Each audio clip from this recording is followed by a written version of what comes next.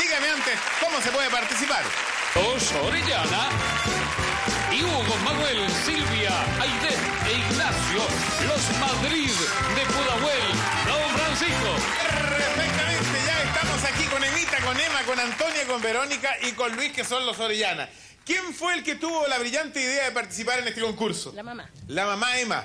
¿Usted mandó muchas cartas? Sí, varias, don. profesor. Usted es una persona que sabe mucho de maicena, ¿no? Exactamente. A ver, ¿qué podríamos hacer con maicena, Emma? Ah, rellenar una torta con maicena. Un- rellenar una hacer una, una crema de maicena. ¿Una crema? Ay, ¿cómo se hace eso? Sí, rico. ¿Sí? Claro. ¿Maicena con qué Con- más? revuelta con harinita, eh, con eh, la maicena, con leche ¿Ya? y un huevo. Se revuelve bien y se hace una, Una crema. una crema.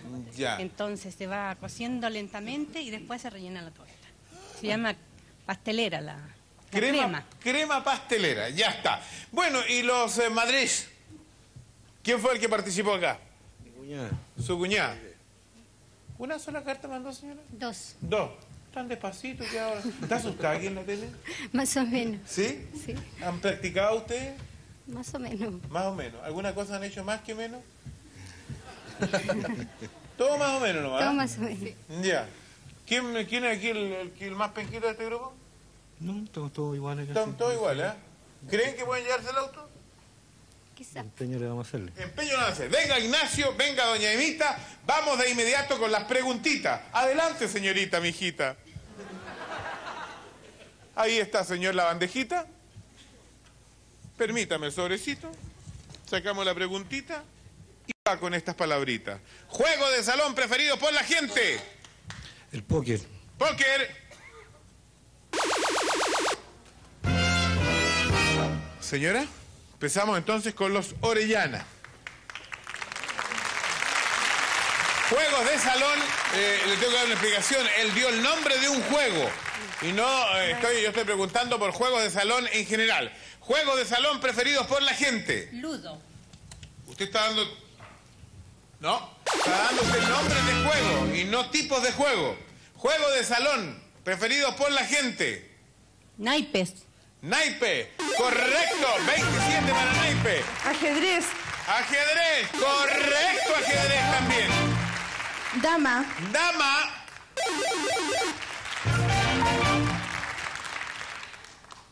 Juego de salón preferidos por la gente. Para los Orellana. Pulinas. ¿Cómo? Pul. Pul. Villarina, por ejemplo. No. Dominó. Dominó, correcto dominó. Juego de salón preferidos por la gente. Naipes. Ya dijo señora. Juego de salón preferido por la gente. El reloj de la Pepa está marcando. Juego de salón preferidos por la gente.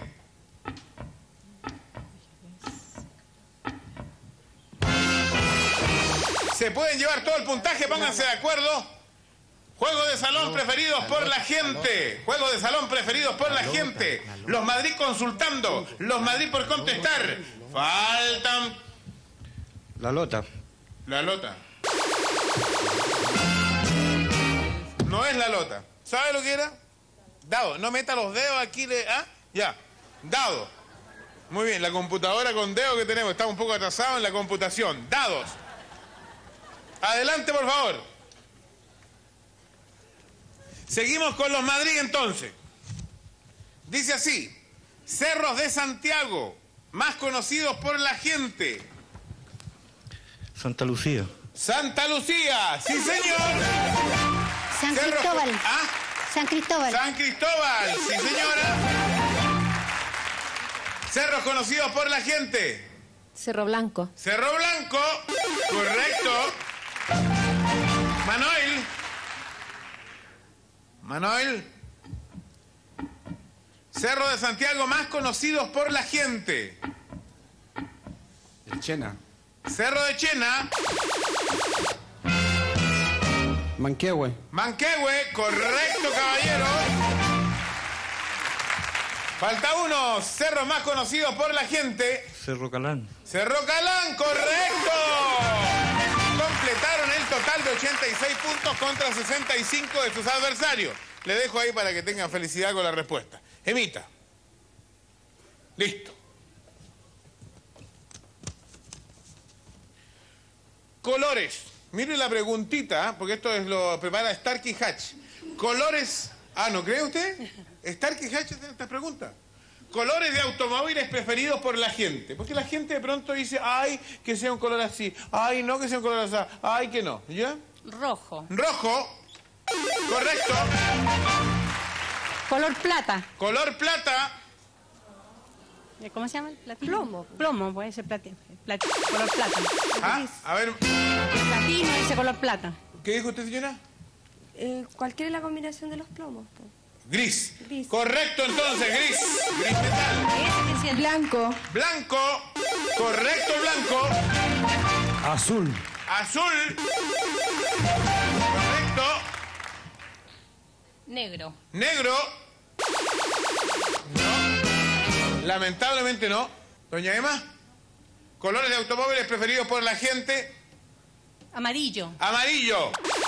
No, lamentablemente no. Llevarse el puntaje, pónganse de acuerdo los Madrid. Colores de automóviles preferidos por la gente. Colores de automóviles preferidos por la gente. Por la gente. Por la gente, por la gente, por la gente. Por la gente. Celeste. ¿Ah? Celeste. Celeste. No, no es celeste tampoco, porque era verde, verde, verde el que faltaba. Bueno, vamos entonces a la próxima pregunta para los Madrid. Y última pregunta para los Madrid, aquí se decide todo. Motivos por los cuales se celebra una fiesta familiar. Hicimos una encuesta para preguntar cuáles son los motivos, los cinco motivos más importantes por los cuales se celebra una fiesta familiar. Ignacio. Cumpleaños. Cumpleaños feliz, birthday to you. Heriberto, señor. Mo- motivos por los cuales se celebra una fiesta. Aniversario. ¿Aniversario de qué? Aniversario de matrimonio. De matrimonio. Correcto. Santo. Santo. Muy bien, y ya están adelante, están arriba con 147 puntos. Bautizo. Bautizo. Motivos por los cuales se celebra una fiesta familiar. Fiesta de fin de año. Fiesta de fin de año. No. Motivos por los cuales se celebra una fiesta familiar. Casamientos. Boda, sí, correcto.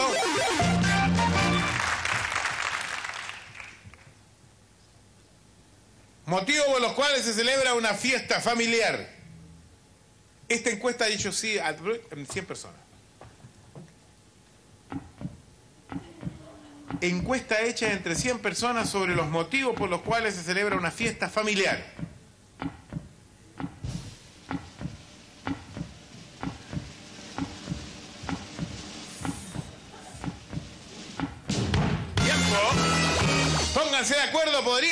Podrían, todavía. Podrían todavía llevarse el puntaje y pasar entonces a la cabeza y llegar a las finales para llevarse el automóvil 0 kilómetros. Están consultando los, ori- los Orellana. Sí, vamos a ver qué es lo que falta.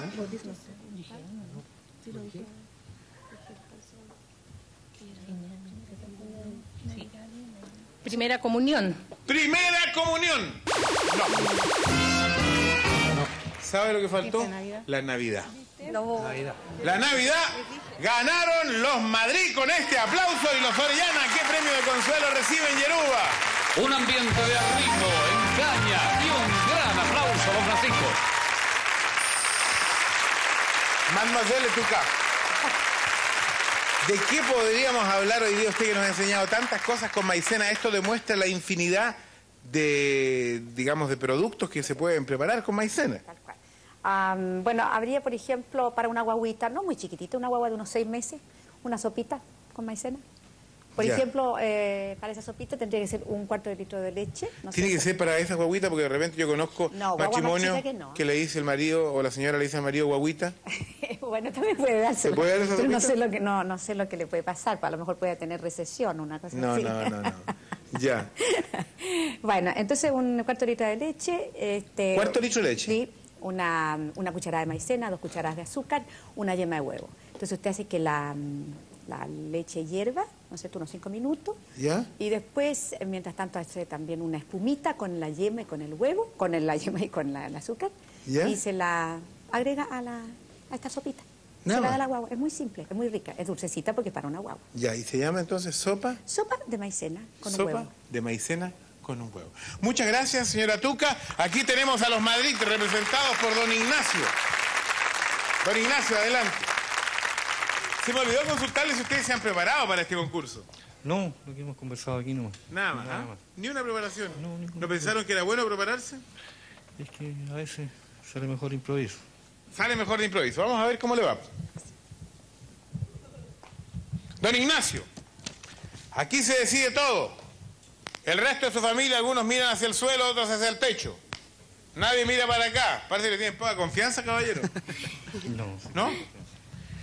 Países de América Central más conocidos por la gente. Honduras. Honduras. Correcto, señor. Salvador. Salvador. Correcto, señor. Ya tiene dos puertas del automóvil. Aquí están los Madrid, países de América Central más conocidos por la gente con maicena. Panamá. Panamá. Correcto, señor. Ya tiene prácticamente el automóvil en el bolsillo.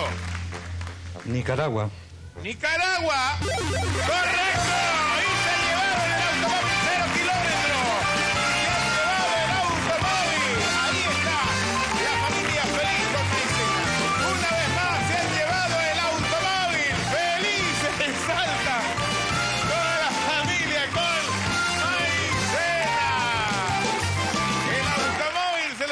¿Está feliz usted, amigo? ah? Sí. ¿Quién, quién es usted? El hijo de mi mamá. El hijo de la mamá. ¿Y cuál es su mamá? La que mandó la carta. La que mandó la carta. ¿Y para quién va a quedar el auto? Para nosotros, pues. ¿Pero quién de ustedes? Para toda la familia. Para toda la familia. ¿Quién va a, ser- ¿A nombre de quién va a estar el auto? De ahí de, de mi tía. De la tía. ¿Y todos viven en la misma casa? No, en la misma comuna. ¿En la misma comuna? O sea, deben ponerse de acuerdo, va a salir todos juntos. Pero cerca, vimos alrededor. Ya. ¿No van a haber peleas con el automóvil? No. A ver, No. señora, venga ¿Cuándo usted lo por acá. vendamos? ¿Ah? Cuando lo vendan. Cuénteme una cosa, ¿usted los va a invitar a todos ellos? Claro. ¿Sí? ¿Cuál va a ser el primer viaje que van a hacer en el auto? ¿A dónde va a ir? A las cabras. A las cabras se van a ir allá, ¿ah? Muy bien. Tomen asiento, ahí está el automóvil cero kilómetros para que se vaya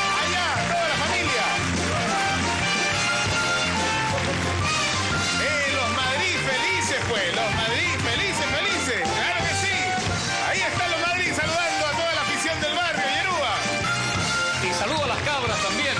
Regresamos a los gigantes con Maicena Dropa, Doña María Benítez Mocha, de la comuna de Renca, y Doña Elba Paredes, de la comuna de San Miguel.